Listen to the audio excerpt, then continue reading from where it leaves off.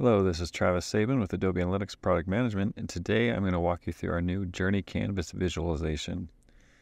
So, to use Journey Canvas, simply add the new visualization to any project that you have. You need to select um, the primary metric you would like to use for the reporting on the Journey Canvas, defaulted to people, but you can change it to any other metric that you might want to uh, see progress through a journey. You can add an optional secondary metric to track a second metric across on the journey as well, or you can change the default container from person back to session. So once you do that, you hit build. You're presented with this open canvas where you can drag and drop whatever you want to build a journey, a combination of dimensions, metrics, or segments. I'm going to start with a simple uh, page journey. I want to know people who came from home and then let's see, they go to maybe purchase step one and purchase step two.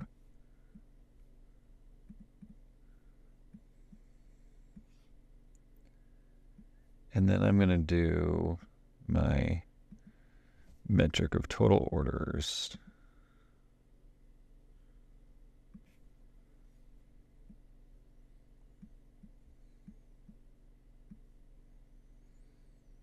I can hit the little zoom to fit the screen here to adjust the view.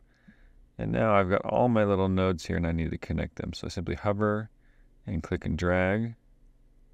And then you'll notice as they collect, then we'll have that glowing background. That note is to notify that it's loading. I go through and connect the rest of them. Now I've got a simple four-step journey and I can see the number of people who started at home, went to purchase step one, purchase step two, and uh, eventually made an order. So right now this is calculating um, based on the total population in my date range. So for January 21st through July 21st in 2023, this is the this percent, 35% of the population visited the homepage and then it moves through the funnel from there. I can change this to be from the start. Since I have a single start here, I can start with all people here and see how that population moves through. Or if I want to know node to node progression, I can change it 2% of previous node. So I can see how they move from step A to B to C to D and so on. I'm going to stick with percent of start. And uh, on this journey, there might be something else I want to see happen in between. So I might come back to my pages.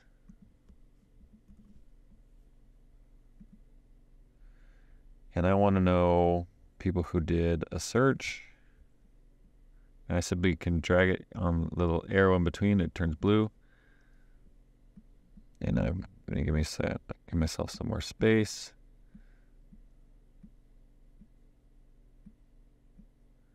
Now I've got people who went from home to then search and then did a purchase step. But maybe I'm also curious on my forums and I can combine these together by dragging it on top of any of these nodes. So I want people who went to, after the home went to search or to the forums and maybe I also want to know how if they also possibly went to courses. So now it reloads, and now I've got this little node here that has these three dim items ordered together. If I click on the info eye, I can see how that's kind of built out. If I want to remove any of these, I can just click, simply click on the X and it updates it. Now I'm back to my single search results page.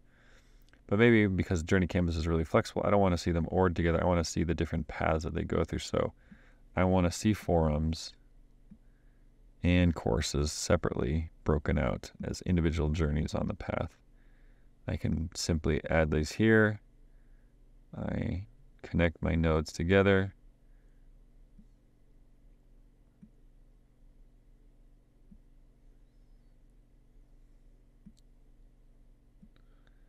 Now I've got people going from home to these three places, and then I want to connect them to the rest of the funnel along the journey to my purchase step one.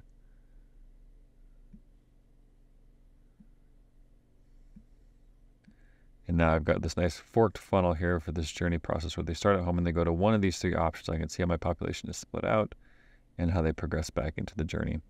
Now, if I want to, I could label these.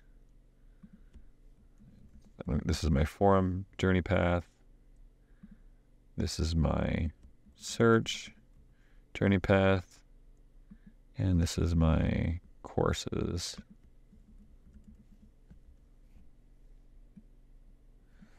So now I can see how I have these labeled here. And this is uh, where the arrow settings come into play. Right now I have labels being displayed. I could turn these off if I wanted.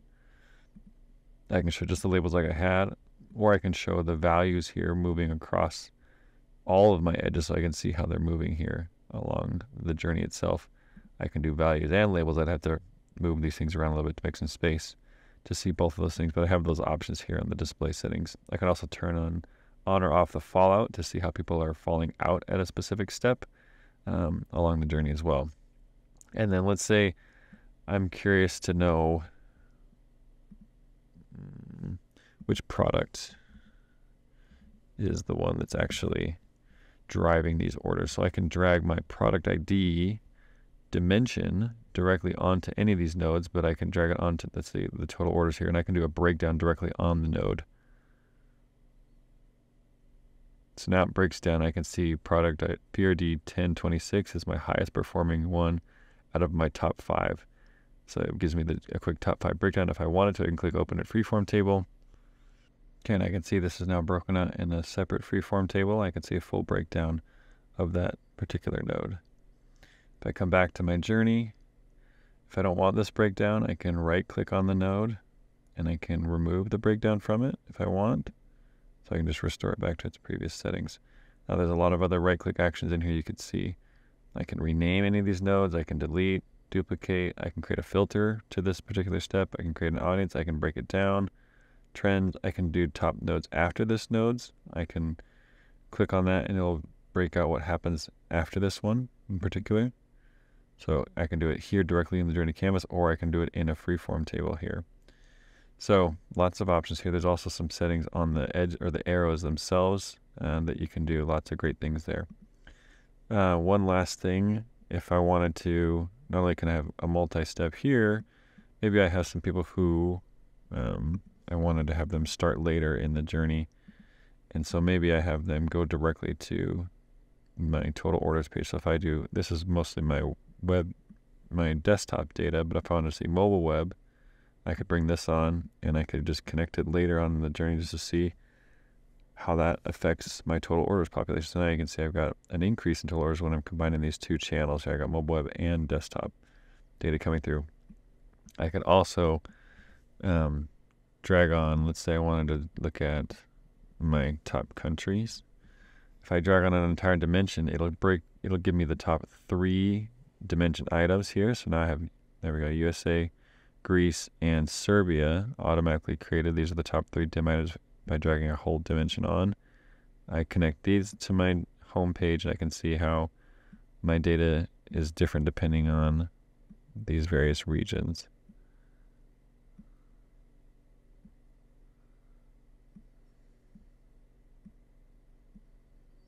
So I get those three all wired up, and now I've got this multi-entry journey with a forked funnel and a delayed start as well here. So now I've got some really complex fallouts here and funnel analysis that I can do to uh, better understand my user journeys and see how they're doing um, along this particular uh, use case that I have here. So this is Journey Canvas. There's lots of other great things that you can do with it. Um, we're excited to have this out and available for you. So thank you for your time.